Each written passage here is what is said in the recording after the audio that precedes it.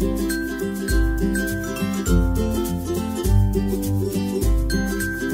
it's Mike with Utastic. I'm here again at GoToConf 2015. I'm sitting here with Dave Duggal, who is giving a talk on distributed processes. Uh, thank you very much for taking the time to speak with me. So, distributed processes. It seems to be kind of a theme here at, at this year's GoToConf. Uh, but what is what is it about your talk, and, and how are you describing okay. this concept? Well, first, thanks for thanks for the interview. So, uh, you know, distributed processes is very timely. Obviously, mm-hmm. everybody's trying to figure out, and, and this is a very difficult domain, right? So, I think people have been. Uh, I think we've moved over the last five years from things being partially distributed to we're almost like living distributed now, mm-hmm. right? And people are dealing with the scale, they're dealing with asynchrony, they're dealing with being parallel parallel. And these are very complex issues, right? Yeah. Managing caches and state uh, at scale.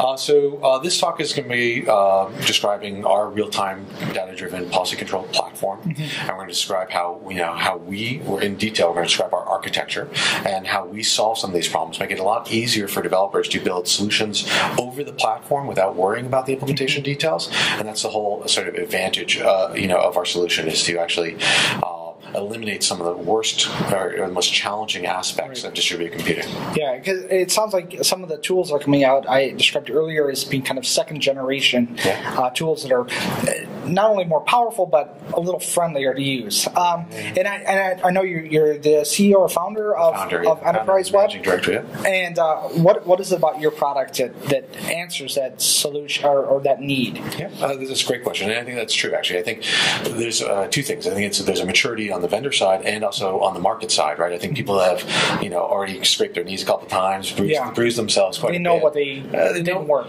Yeah, they know it doesn't work. They don't believe hype really anymore, mm-hmm. right? You know, they, yeah. you know, can't just say the cloud. Yeah, yeah, yeah. yeah that, that, didn't work anymore. So uh, now, now actually, what people are looking for is real solutions that they can test mm-hmm. at scale and that solve real complex problems. Mm-hmm. So it's an exciting time because actually, you know, we're, we're talking about problems of computer science actually right. that people have been struggling with for 30 years. These aren't just problems of our moment. They're right. we're actually pioneering now how to be fully distributed in real time, mm-hmm. data driven, right? And and keep that cohesive, right? Because that could easily fly away from you if you don't have it under control. Right. So to, to your question about how, you know how do we make that more friendly?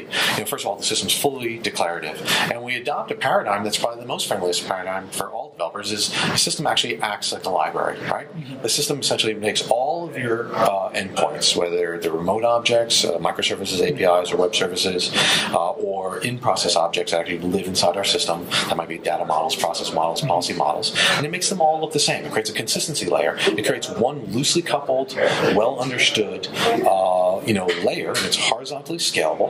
Uh, log- think of it as a logical store, but it's not just uh, data. It's data, code, diverse objects, right? Just, and uh, by creating a consistency layer, we make everything look the same, and it's an abstraction, right? It's a right. data abstraction inside our system. Everything looks the same. If everything looks the same, I can navigate it the same way. I can search it the same way. Uh, I can reason over it across the same way. So I can now be, you know, searching, declare right through the UI. I can actually be walking relationships between objects that don't actually live anywhere near each other. Right. They're completely diverse. But in the system, it's going to look like, wow, I'm going to I'm going to look at the mic object here, an entity in our system. I'm going to see every application you've ever touched. I click into an application. I could see an instance that you worked on. I can see the data and code behind that instance. I can actually click into the the models of the remote objects that might have been. I can actually see the version of the policy that applied on the day that you did that transaction. And I do that front to back. And that kind yeah. of tracing, dependency mapping, library kind of access is probably the most friendly thing you could do to a developer because then everything else is gravy. Yeah, because the discoverability is always the challenge. I mean, we went from WSDL and SOAP, which at least you had this manifest that you could look at and say, well, this is what my my methods, you know, my SOAP calls look like, and this is the interaction I can ex- expect. To REST, which is, well, it's kind of a shape, but people kind of had their own shape of a shape, you know, and uh, didn't always quite conform to uh, kind of the nebulous vision of. I mean, I'm sure you know if you got really deep into it, REST had a very concrete definition, but it wasn't really discoverable. Um, sounds like this is answering some of those problems of when I sit down and I look at an, an environment and like, what can I do here? Yeah, absolutely, and, and it is a, the big a big problem of shared understanding, right? Mm-hmm. How do clients and servers understand each other, right? And how do diverse objects declare themselves to a system so they can be managed, right? Because in 2015, and we still, you know, when people say continuous integration, right? That's talked about a lot here. Continuous right. delivery, continuous integration. The word they forget to leave out, the silent word between continuous and integration, is manual. Yeah. Right. You know, look at the API, read the API, Yeah. wire the API into my process and app. So from the process and app layer, everything looks still ugly, mm-hmm. right? You know, Yeah. it's only in the service and API abstraction layer does oh look, it's all loosely coupled. It's Yeah, so yeah. nice, and Yeah. look at that. You know, like I've liberated things from my systems. That actually is great. It is an advance. We've achieved some mm-hmm. loose coupling. But when we're doing three-tier vertical integration at the apps and the process layer, we're nowhere. We, we have you just we've moved the ball. Yeah, we're but we still didn't solve the tying problem. Things together. Just And, and, you know, the funny part about it is, I think ten years from now, people you know people will be like, "You did what to what? Yeah, yeah. You manually integrated that, right? Yeah. So we, we're actually automating interoperability itself because we do everything declaratively. Once every once your objects are declared in our system and you can now navigate them, I can now compose them in this one system by point and click by metadata because everything's described in its metadata. And you as a developer, you can pick up any individual object, look at it all its dependencies, you could fully understand it, you could see everything that's consuming it, and, and uh, But at runtime, you don't you don't have to wire it into an app. An app just has to point to it, and system agents will go out and figure out all the dependencies and requirements to fulfill that contract and render the value back up to the application process. sounds like a really hard problem.